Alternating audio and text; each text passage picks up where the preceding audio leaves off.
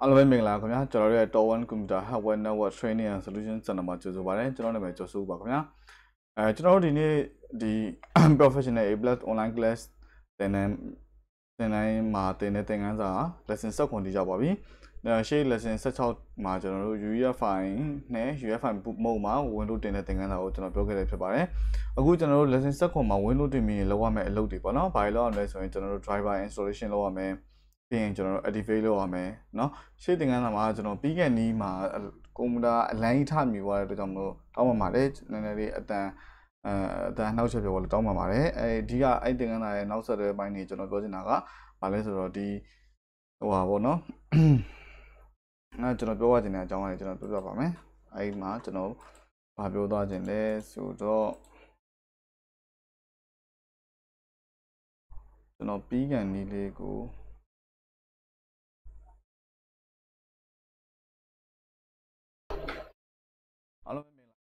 ကျွန်တော်ပြီးကန်နီးလေးကိုပြောချင်တာကဩ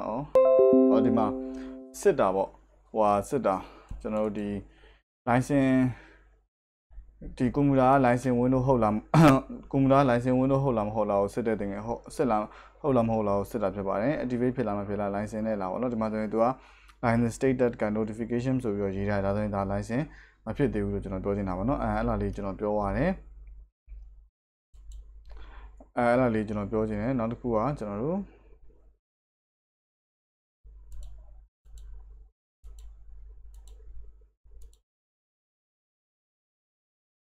အာဟုတ်တယ်အဲ့လားလေးကျွန်တော်ပြောသွားချင်တာဖြစ်ပါတယ်เนาะโอเคโอเคအဲ့တော့ကျွန်တော်တို့အခုပြောမယ့်သင်ခန်းစာကဘာလဲဆိုတော့ကျွန်တော်တို့ဒီပေါ့နော် window တင်ပြီးတာ ਨੇ ကျွန်တော်တို့ဘာလုပ်ရလဲဆိုရင် driver mount ရမယ် driver mount ပြီးတော့ driver mount ရမယ် driver mount လဲဆိုတာဘာလဲဆိုတော့ ဒီကျွန်တော်တို့ရဲ့ကွန်ပျူတာရဲ့ hardware တွေကကျွန်တော်တို့ရဲ့ဒီ soft ဟိုဒီတင်ထားတဲ့ window ကိုကျွန်တော်တို့သိအောင်လို့ပေါ့နော် window ထဲမှာရှိဒီ hardware တွေကအဲဒီ sorry ဒီ window 10ကြီးကကျွန်တော်တို့ရဲ့ကွန်ပျူတာရဲ့ hardware ကိုသိအောင်လို့ကျွန်တော်တို့က driver mount ရတယ်လို့ခေါ်တယ်အဲပြောချင်တာတော့ software နဲ့ hardware နဲ့ကိုကျွန်တော်တို့ကဒီအဆင်ပြေအောင်လို့ဟိုလုပ်ပေးတာပေါ့နော်ဒီ software တွေဟိုအဆင်ပြေအောင်လို့ကျွန်တော်ပေါင်းပြီးတော့လုပ်ပေးတာကိုကျွန်တော် driver mount တယ်လို့ခေါ်တယ် okay အဲ့တော့ကျွန်တော်တို့ driver မောင်းမယ်ပေါ့နော်အဲ့တော့ okay ဆက်တော့ကြည့်အောင်နော်အိုးဘာလဲမသိဆက်ကြည့်အောင် okay okay ဒီပုံစံကပြဿနာဘာလဲဆိုတော့အဲ reviews and slash တဲ့ review and slash program boost divider proper boost divider proper review ဆိုတာပြန်ပြီးတော့ restart ချပါအဲဒါမှမဟုတ် slash ကျွန်တော်တို့နောက်တစ်ခုပါလဲဆိုရင် proper boot device ဆိုတော့တင်းတော်လဲ boot device ထည့်ပါ okay ပြဿနာကဘာလဲဆိုတော့ဒီဟာကကျွန်တော်တို့လက်ရှိဒီကောင်ကကျွန်တော်တို့ကဒီ bio ထဲမှာเนาะကျွန်တော်ကအဲဘာလို့ထားလဲဆိုတော့ဒီကောင်ကိုကျွန်တော် legacy legacy mode လောက်ထားတယ် bio ထဲမှာ legacy mode လောက်ထားတဲ့အတွက်ကြောင့်မို့ဒီလိုမျိုးပြဿနာတက်နေတာမနေ့ကကျွန်တော် windows တင်နေတယ်အဲ့မှာကျွန်တော် UEFI နဲ့တင်တယ်လေဒါပေမဲ့ဒီ bio ကိုကျွန်တော် legacy နဲ့ထားတော့ဒီပြဿနာတက်တာအဲ့မှာ proper တင်တော်တဲ့ boot device ယူခိုင်းတာ okay ကျွန်တော်တို့ချက်ကြည့်ကြအောင်နော်အဲ့တော့ကျွန်တော်တို့ ချက်ပေါင်းအဲ့တော့ကျွန်တော်ဒီနေရာမှာ control နဲ့ order ရယ် delete ရယ်ကျွန်တော်နှိပ်လိုက်မယ်ပြီးရင် delete key နှိပ်လိုက် delete key နှိပ်ပြီးတော့ကျွန်တော် bio ထဲကိုသွားအောင်နော်အာ okay bio ထဲကိုရောက်ပြီဆိုရင်ကျွန်တော်တို့နော်ဘယ်ထဲကိုသွားမလဲဆိုရင်ကျွန်တော်တို့ အဲ quiz program တွေကိုသွားမယ်ဒီမှာလေးကျွန်တော် legacy လောက်ထားတယ်လား legacy လောက်ထားတယ်အဲ့ဒါကျွန်တော်ပြန်ပြောင်းရမယ်ဘာလို့ပြောင်းလဲဆိုရင် user file ကိုကျွန်တော်ပြန်ပြောင်းမယ် user file only ပြန်ပြောင်းလိုက်ပါအကုန်လုံးကိုအဲ့ဒါမှ window ကတက်မှာပါ okay ပြီးရင် f10 enter ပြန်ချိန်တာ okay ပြဿနာအလားပဲ okay ပြန်တက်လာပြီပြောနေတာမနေ့အောင်ကပြောနေတာကဘာလဲဆိုတော့ဒီမ နေ့အောင်ကကျွန်တော်တို့တင်ထားတဲ့ဒီကွန်ပျူတာ window ကဒီတော့ UEFI file နဲ့တင်ထားတယ်အဲ့တော့ကျွန်တော် BIOS ထဲမှာ legacy ပြောင်းလာရင်အဲ့ဒီပြဿနာတက်တော့ကျွန်တော်ပြောချင်တယ်ဒါပေမဲ့ဒီသင်ခန်းစာမျိုးမဆိုင်ဘူးเนาะ Okay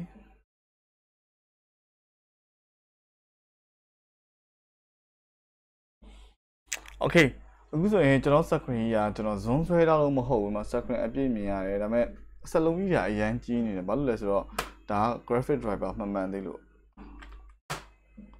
နော် graphic တော့အမှန်မှန်သေးတဲ့ပြဿနာလို့ပြောလို့ရအဲ့တော့ဒါ window တော့တင်ပြီးသွားပြီကျွန်တော်စလုံးကြီးကအရင်ကြီးနေဆိုရင်အဲ့ဒါဘာလဲဆိုရင် driver မောင်းရမယ်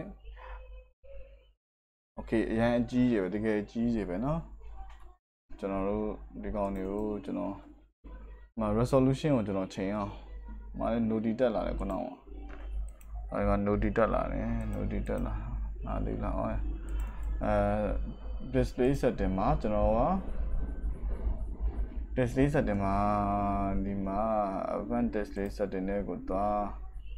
ငါလုံးလို့မရဘူးပြောင်းလို့မရဘူးသလားအဲ့လိုပြဿနာလေးကြုံနေသလား resolution ချိန်လို့မရဘူးเนาะအဲ့ပြဿနာလေးရှိတယ်ကျွန်တော်တို့နောက်တစ်ခုအဲနောက်တစ်ခုကျွန်တော်တို့ဒီမှာလေ property တွေပါနှိပ်တဲ့အခါမှာဟိုကြီးတွေပဲဟုတ်ပြီနော်စလုံးဆိုင်ကြီးတာမဟုတ်ဒါ resolution မှန်မှန်လို့အခု resolution ကဘယ်လောက်ရှိလဲကြည့်အောင်နော်ခုနကကျွန်တော်ကြည့်တော့ right click display setting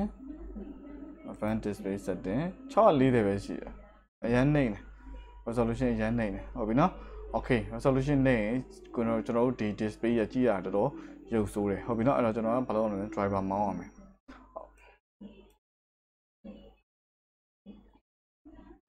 okay ကျွန်တော်တို့ driver မောင်းဖို့အတွက်ဆိုရင်ကျွန်တော်တို့ဘာလို့လဲပေါ့နော်ဘာလို့လဲဆိုရင်ဒီ driver တွေကဘယ်ရရမလဲဆိုကျွန်တော်တို့မှာ driver မှာ ကျွန်တော်တစ်မျိုးအဲနှစ်ခုမောင်းနေတာ original driver နဲ့ကျွန်တော်တို့ driver pad နဲ့မောင်းနေရတယ် original driver ကိုကျွန်တော်တို့ရဲ့ဒီကွန်ပျူတာမှာ Dell ဆိုရင် Dell ကွန်ပျူတာပေါ့နော် Asus ဆိုရင် Asus ပေါ့ MSI ဆို MSI ဒီမှာလောက်ထုတ်တဲ့ company တွေကနေပြီးတော့ကိုယ့်ရဲ့ဒီကွန်ပျူတာရဲ့ဒီ series ကိုပေါ့နော်အမှစာလေးရေးကျွန်တော်ကွန်ပျူတာဆိုရင် laptop ကျူးတဲ့ E5430 ဆိုတဲ့ laptop တွေပေါ့နော်ကျွန်တော် laptop အဲဆိုရင်သူ့ကို Windows တင်ပြီးတာနဲ့ Dell Latitude E5430 and driver ဆိုပြီးတော့ Windows 10 driver ဆိုပြီးတော့ရှာရိုင်းလိုက်ရင်သူ Windows 10 driver တွေတွေ့တယ်အဲ့ဒါကို download ဆွဲလို့ရတယ်အဲ့ဒါအကောင်းဆုံးတော့ original driver အကောင်းဆုံးပဲအဲ့ဒါပထမချက် download ဆွဲပြီးတော့ run တာနော်ဒုတိယချက်ကကျတော့ lower driver တွေကိုကျွန်တော်တို့ select မှတ်ပြီးတော့ internet ချိန်ပြီးတော့ကျွန်တော်တို့ update လုပ်တာအဲ့ဒါကျတော့တစ်ခါရင်ပြဿနာဘာရှိလဲဆိုတော့ဒီ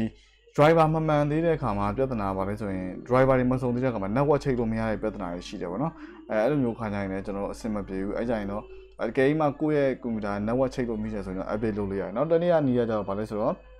ကျွန်တော်တို့ driver pad နဲ့မောင်းတာပေါ့နော် driver pad ဆိုတာတော့ဘယ်ကွန်ပျူတာပဲလာလာကျွန်တော်တို့ driver pad အဲဘယ်ကွန်ပျူတာဖြစ်ဖြစ်ကျွန်တော်အကုန်လုံးမောင်းလို့ရတယ်သူကတင့်တော်တဲ့ driver တွေအကုန်လုံးစုထည့်ပေးတာလေ driver pad ဖြစ်တယ်အဲ့ driver pad ကိုလည်း download ဆွဲလို့ရတယ်အဲကျွန်တော်က site နည်းနည်းကြီးနေလို့20ကျွန်တော် ကို30 GB လောက်ရှိနေတော့ကျွန်တော်အဆင်ပြေ driver pad တင်ပေးမယ်ပြီးရင် driver pad တင်အဲ download ဆွဲလို့ရတဲ့ link တွေတော့ကျွန်တော်ချပေး29 30 GB လောက်ရှိတော့ဟုတ်ပြီနော် okay အဲ့တော့ကျွန်တော်တို့ဒီအခုတော့ကျွန်တော်ကတော့မလုပ်မလဲဆိုရင်ကျွန်တော် driver pad နဲ့အရင်မောင်းပြမယ်เนาะ share ဟာလေးကျွန်တော်ပြောပြမယ်เนาะ okay ကျွန်တော်ကြည့်အောင်အဲ့တော့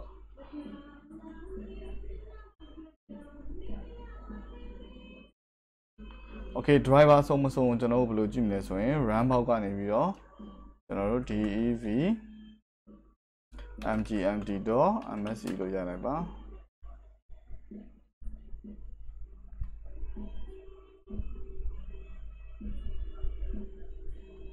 မြင်ရလားမသိဘူးအဲ driver တွေကြာလာပါလိမ့်မယ်အဲ့ဒီမှာကျွန်တော်တို့ဥမာဆိုရင် display driver ကြည့်အောင်အော် Microsoft Basic display driver ဒါဒါဘာလဲသင်ပြောချင်တာ driver မစုံသေးဘူးလို့ပြောချင်တာ Microsoft အဲ display ပေါ့ဒီရုပ်ရုပ်ထွက်ကြီးရဲ့ဒီ driver မမှန်သေးလို့ဒီလိုပြည့်ပြည့်ကြီးဖြစ်နေတာပေါ့နော်အဲ့ဒါဆိုရင် right click ကျွန်တော်ဘယ်လိုလုပ်လို့ရလဲ update drive update driver software ကိုရွေး set automatically for update driver တဲ့လုံးလာဒါမှမဟုတ် browse my computer for my driver software ဒါအပေါ်ကဟာကျတော့ဒီ driver ကိုကျွန်တော်တို့ရှာတာပေါ့ရှာတာအဲ့ရှာဖို့အတွက်ဘာလို့လဲဆိုရင်ဒီစာလေးဖတ်တော့ Windows will set your computer and uh, internet for the last device software ပေါ့နော်ဒီ computer တော့ကျွန်တော်ဘာလို့လဲဆိုရင် internet လိုတယ်တဲ့ internet ကနေရှာတာပေါ့ okay ချိန်အောင် okay basis database installation လုပ်လို့ရတယ်เนาะကျွန်တော်မရဘူး okay close ဒါမှမဟုတ်နောက်တနည်းအောက်ကနေရကြတော့ကိုယ့်ရဲ့ set ထဲမှာ ရှိတဲ့ဟာကိုသွားရှာတာ browser ကိုယ့်ကွန်ပျူတာဘယ်နားမှာရှိတယ်ပေါ့ဒီ driver ဒီကိမှဟော driver ကို backup လုပ်ခဲ့တယ်ဆိုရင်အဲဒီ backup လုပ်ခဲ့တဲ့ driver ကိုတော့ပြန်ရွေးလိုက်လို့ရတယ်ပေါ့နော်အခုကျွန်တော်ကဒီမှာ driver backup မလုပ်ရသေးလို့ကျွန်တော်မပြောတော့ဘူးဟုတ်ပြီနော် okay ကျွန်တော် driver backup လုပ်တဲ့သင်ခန်းတော့လည်းကျွန်တော်ထပ်ပြောမယ်အဲဆိုရင်ဒီနေရာမှာဆိုရင်ဒါကို backup လုပ်ခဲ့တဲ့ display driver ကိုသွားရှာပြီးတော့ okay run ပေးလိုက်ရင်ရပြီနော် next ဆိုပြီးတော့အမှ installation လုပ်ပေးလိုက်ရင်ရတယ်ဒါပေမဲ့ ဒါကကျွန်တော်တို့ဒီ up to date လုပ်ရမယ်ဒီ software က up to date လုပ်ရမယ်เนาะ up to date ဆိုတာဟိုက out of date ဖြစ်နေတယ်ပေါ့အာဒါဆိုရင် အဲဘာတွေရှိတယ် story controller processor network data ဆိုရင် okay network data ဟုတ်ပြီနော်ဘာတွေဆိုတော့လိုလဲကြည့်ကြည့်အောင်နော် okay ကျွန်တော်အဲ့တော့ကျွန်တော်ကကွန်ပျူတာပေါ့ကျွန်တော်ဘာလုပ်လိုက်မလဲဆိုရင်ကျွန်တော်ကွန်ပျူတာမှာကျွန်တော်အဲ driver pack driver pack software နဲ့ run ဖို့အတွက်ကျွန်တော် head ထိုးလိုက်မယ်ကျွန်တော်ရောဒီမှာ driver pack နဲ့မောင်းမြမှာဖြစ်ပါတယ်เนาะအကယ်၍မှကိုက driver pack ကိုမသုံးချင်ဘူး original driver သုံးချင်တယ်ဆိုလဲခုနလိုမျိုး internet ချိတ်ပြီးတော့သုံးလို့ရပါတယ်ဟုတ်ပြီเนาะအဲ့တော့အဲ့ original driver တွေက motherboard ဝယ်တဲ့ခါမှာ motherboard ဘူးနဲ့အတူတူပါလာတယ်ဘူး motherboard ဘူးရှိအဲ့ဒီမှာအခွေလေးတစ်ခွေပါလာတယ်ဟုတ်ပြီเนาะအဲ့ခွေကဘာလဲဆိုရင် original driver ခွေဖြစ်တယ် အဲပြီးရင် laptop တွေပါဝယ်တဲ့ခါမှာလည်းအဲ့ဆိုင်ဟိုဟိုကိုကဒီရိုင်းဟိုမဖြစ်သေးဘူးပေါ့နော်အဲဆိုင်ကိုမေးခဲ့မေးလိုက်ကျွန်တော်ဟိုလို့ဒီကို laptop ရဲ့ driver လေးတွေတို့ထည့်ပေးပါလို့အဲအဲ့လိုမျိုးပြောလိုက်အဲ့ဒါသူတို့ထည့်ပေးတချို့ laptop ဆိုင်တွေကတော့ driver တွေထည့်ထားပြီးတယ်ချိုးဆိုင်တွေကတော့မထည့်ထားပြီးဟုတ်ပြီနော်အဲ့တော့ဟို ပြဿနာပါလဲဆိုတော့ကျွန်တော်နောက်တစ်ခါ Windows တက်တင် driver တွေအသစ်ထပ်ပြီးတော့ဟို download ဆွဲရတဲ့ပြဿနာရှုပ်တယ်ပေါ့နော်တော့ download ဆွဲရတယ် light ရှာ light ရှာတဲ့ပြဿနာရှိတယ်ပေါ့နော်အဲ့မို့ကျွန်တော်အရင်တော့ဆိုင်ဆိုင်မှာမြင်ဘူးတယ် Windows တင်ရင်းနဲ့အဲ driver မပါရင်တဲ့1000ခွဲတဲ့ driver ပါတယ်ပေါ့နော် user လာတင်တဲ့ကွန်ပျူတာ driver ပါရင်တော့1000ပဲပေးရမယ်လို့ပြောတယ် okay ဒါထားပါတော့အဲကျွန်တော်ကြည့်အောင်နော်အဲ့တော့အခုကျွန်တော်တော့ driver ပတ်နဲ့မောင်းပြမှာဖြစ်ပါတယ် okay ဒီမှာကျွန်တော်ရဲ့ head detail ကိုဝင်လိုက်မယ်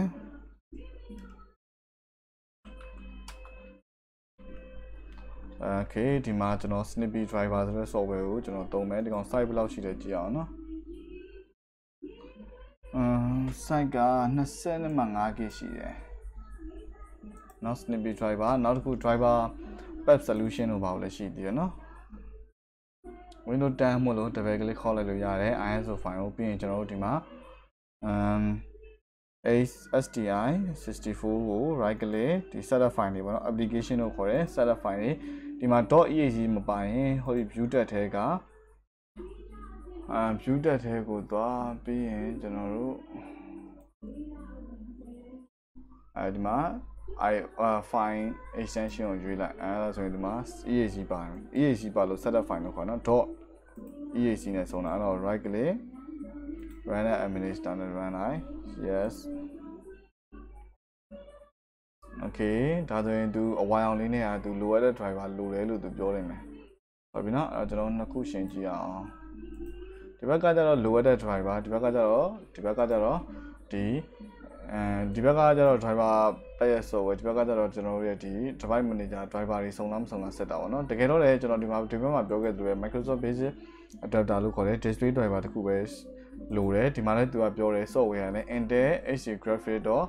driver variable ရမယ်เนาะတန်တဲ့ဟာတွေကတော့အနီရောင်နဲ့ပြရတော့မင်းစီမှာလည်း update မဖြစ်ဒီ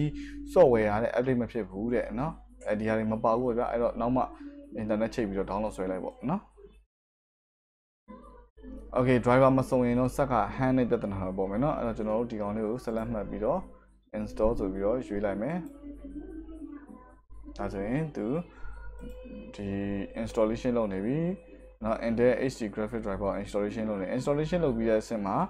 ဘာဖြစ်သွားမလဲဆိုရင်ဒီ Microsoft Basic Adapter ဆိုတဲ့စာတမ်းပြောက်သွားပြီးတော့ Intel HD ပေါ်လာမယ်ပြီးရင်ဟောဒီလိုမျိုးပြည့်ပြည့်ကြီး resolution ရလဲကျွန်တော်တို့ပြည့်ပြည့်ကြီးမဟုတ်တော့မနဲ့အဆင်ပြေသွားလိမ့်မယ်နော်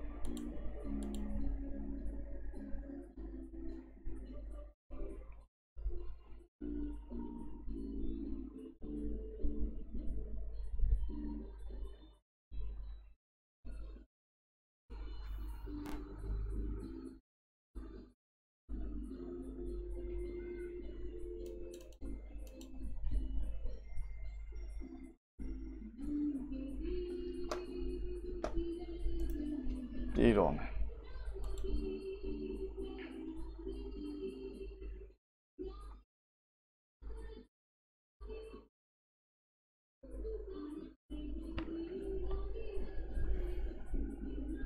โอเคပိတ်သွားတာမဟုတ်ဒါသူ display ကိုသူဟိုလုပ်လိုက်တာ resolution ကိုသူဟိုလုပ်လိုက် okay တည်သွားတဲ့စလုံးတွေတည်တာမဟုတ်အဲ့လားအမှန်တော့ဒါ display driver မှန်သွားလို့လို့ရအောင်တည်သွားမြင်တော့မမြင်တော့ okay ပြန်ညှိပေးနေ okay ဒီမှာဆိုရင် successfully ဖြစ်သွားပါပြီကျွန်တော်တို့ရဲ့ display driver successfully ဆိုတစ်ချက်ကြည့်ကြည့်အောင်နော်อืม Intel HD graphic driver ဆိုပြီးတော့ဒီဘက်မှာလည်းပေါ်သွားပြီဟုတ်ပြီနော် resolution ချိန်ကြည့်အောင်ကျွန်တော်တို့အာဟိုဒီ recycle bin ဆိုဟာရလည်းကြီးမဟုတ်လို့တိတိလေးဖြစ်သွားတယ် display setting advanced display setting အာဒီမှာလေသူ recommend ပေးတဲ့ခုနကမှလေးဒီမှာလေးအဲကျွန်တော်ပြမယ်800 600ဆိုတဲ့ဟာကြီးကိုပြကြအောင်နေပြပြတလားကြည့်လို့မကောင်းဘူးလားအဲ့ဒါမလို့ကျွန်တော်တို့က driver မောင်းရတယ်အဲ့ဒါကိုပြောတာဒါက graphic driver တခုပဲလို့လို့ graphic driver တခုပဲကျွန်တော်တို့ကမောင်းလိုက်တာကျန်တဲ့ network driver တွေပါလို့ရင် software ကပြောလိမ့်မယ်အဲ့ကြရင်ဘာမှမလုပ်ကိုယ့်ကိုယ်လေး installation လေးလုပ်ပေးလိုက်အောင်မယ်ဒါဒီကျွန်တော်တို့ driver မောင်းတဲ့သင်ခန်းစာဖြစ်တယ် okay ဒါဒီကျွန်တော်တို့ driver မောင်းတဲ့သင်ခန်းစာဖြစ်ပါတယ်เนาะဒါဒီအခုကျွန်တော်လက်ရှိပြနေတဲ့ဟာဒီဟိုဘယ်လိုပြောမလဲဟိုဒီ display driver တခုပဲလိုလို့ display driver တခုပဲကျွန်တော်တို့မောင်းလိုက်တာ window 10ကလေသူ့မှာအားတာချက်ကဘာလဲဆိုရင် driver တော်တော်နည်းတယ် driver လိုအပ်ချက်တော်တော်နည်းတယ်ဘာလို့လဲဆိုတော့သူကလေ latest OS ဆိုတော့လေနောက်ဆုံးထွက်တဲ့ operating system ဆိုတော့သူ့ရဲ့ရှေ့မှာထွက်တာထွက်တာလေ hardware တွေရဲ့ဒီ